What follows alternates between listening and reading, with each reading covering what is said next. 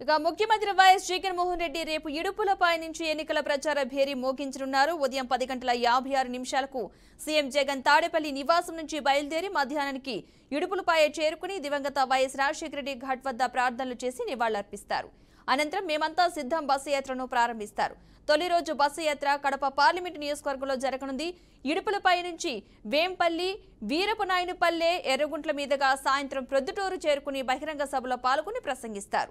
ఇక అనంతరం అక్కడి నుంచి దువ్వూరు చాగలమర్రి మీదుగా నంద్యాల జిల్లా ఆళ్ళగడ్డ చేరుకుని రాత్రి అక్కడే బస చేస్తారు. గురువారం నంద్యాల పార్లమెంటు నియోజకవర్గ పరిధిలో బస్సు యాత్ర నిర్వహిస్తారు.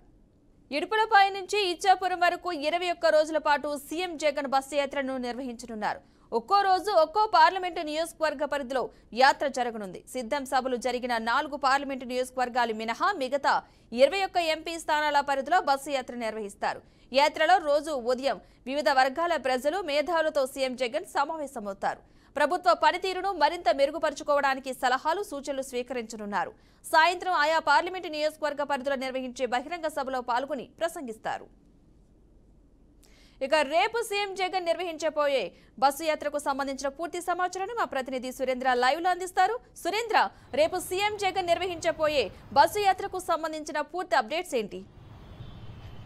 Yeah Padma AP CM YS Jaganmohan Reddy రేపటి నుంచి బస్సు యాత్రకు శ్రీకారం చుట్టబోతున్నారు. మొదటిసారి తన తండ్రి వైఎస్ఆర్ ఘాట్ దగ్గర నుంచి కూడా ఈ బస్సు యాత్రకు పూర్తి స్థాయిలో శ్రీకారం చుట్టబోయే అవకాశం కూడా కనిపిస్తోంది. ఇప్పటికే సిద్ధం సభల పేరుతో నాలుగు సభలు విజయవంతంగా పూర్తి చేసుకున్నటువంటి సీఎం జగన్ సిద్ధం సభలను తలపించే విధంగా బస్సు యాత్ర పూర్తి స్థాయిలో షెడ్యూల్ ఖరారైనట్టుగా తెలుస్తోంది. రేపు ఉదయం ఇడుపులపాయ నుంచి తన తండ్రి వైఎస్ఆర్ ఘాట్ దగ్గర పూర్తి స్థాయిలో ప్రార్థనలు చేసుకుని ప్రార్థనల అనంతరం అక్కడి నుంచి నేరుగా ఎర్రగుంట్ల వేంపల్లి వీరపనాయనపల్లి ఎర్రగుంట్ల మీదుగా ప్రొద్దుటూరు సభకు చేరుకుంటారు. ఆ సభలో ఆ సీఎం జగన్ పూర్తి స్థాయిలో కడప జిల్లాకు సంబంధించినటువంటి ఒక ఈ పెద్ద సభలో కొన్ని కీలక అంశాలను కూడా ప్రస్తావించే అవకాశం ఉంది. ఎందుకంటే గత ఎన్నికల్లో పార్టీకి సంబంధించినటువంటి విధి విధానాలు కావచ్చు రేపు ఎన్నికలకు సంబంధించినటువంటి మేనిఫెస్టోకి సంబంధించినటువంటి కొన్ని విషయాలు కూడా బయట పెట్టే అవకాశం ఉంది. ఎందుకంటే సీఎం సొంత జిల్లా నుంచి ఎన్నికల శంకారావానికి ప్రచారానికి తెరలేపారని చెప్పవచ్చు. దీనికి సంబంధించినటువంటి ఏర్పాట్ల విషయంలో ప్రొద్దుటూరు ఎమ్మెల్యే రాచమల్లు శివప్రసాద్ రెడ్డి కూడా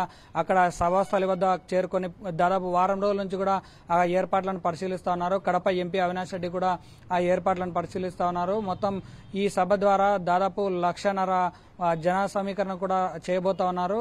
ఆ సభలో ఇడుపులపాయ నుంచి చే- ఇడుపులపాయ నుంచి నేరుగా ఆ ప్రాంతాలు అంటే వేంపల్లి కావచ్చు వీరపనాయనపల్లి కావచ్చు ఎర్రగుంట్ల కావచ్చు దాదాపుగా రెండున్నర గంటల సమయము జనాలతో మమేకమై సీఎం జగన్ సభ వరకు వస్తారు. ఈ సభలో కీలకంగా ఆ, మా మూడు ప్రాంతాల్లో ఉన్నటువంటి కొంతమంది చేరికలు కూడా ఉండే అవకాశం ఉంది. ఇందులో ప్రధానంగా కమలాపురంలో చాలా టీడీపీ సీనియర్ నాయకుడిగా ఉన్నటువంటి సాయినాథ్ శర్మ కూడా సీఎం జగన్ సమక్షంలో రేపు వైసీపీలో చేరబోతా ఉన్నారు. అంటే చేరికలకు కూడా రేపటి నుంచే రంగం సిద్ధబో సిద్ధం చేయబోతున్నట్టుగా తెలుస్తా ఉంది.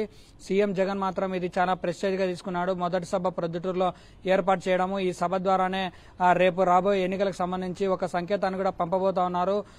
మేము ఎలక్షన్స్కు వస్తే ఎలక్షన్స్లో గెలిచిన తర్వాత చేయబోయే అంశాలు అలాగే ఇప్పటి వరకు ప్రభుత్వం చేసినటువంటి ప్రతి ప్రోగ్రాం అన్నిటిని కూడా వివరించే ప్రయత్నం చేయబోతా ఉన్నారు.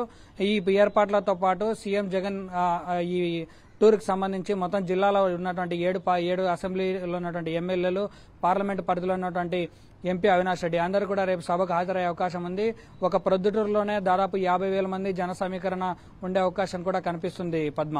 Right thank you Surendra